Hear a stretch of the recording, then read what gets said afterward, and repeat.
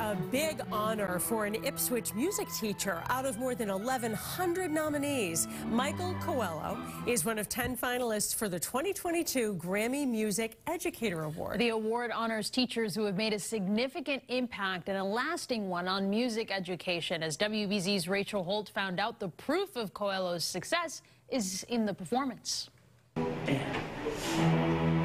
One listen to the Ipswich High School Orchestra,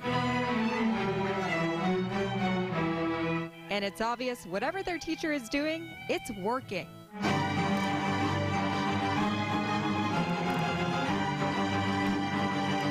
Michael Coelho is in his seventh year as the director of orchestras for Ipswich Public Schools, where he teaches close to 200 students. Sharing a passion with them is such a privilege every day.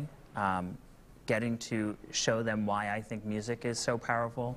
The Fall River native is one of 10 finalists for the 2022 Grammy Music Educator Award. Excellent. Thank you, everybody. Coming as no surprise to his colleagues and students. What's really special is the way he connects with, with his students. Um, he'll do whatever it takes for them to be successful. Yeah, I think he's just kind of the perfect mix of like, you know, pushing you, making sure, you know, you're doing the best you can, but also like so encouraging.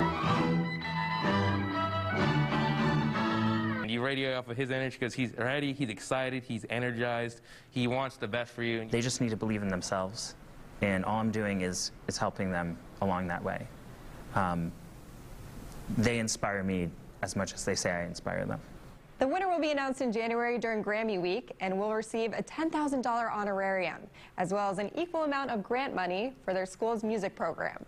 Seeing what the students are saying, seeing the joy that they have in their faces, seeing how excited they were just a moment ago to play for you, that's what it's all about. Rachel Holt, WBZ News.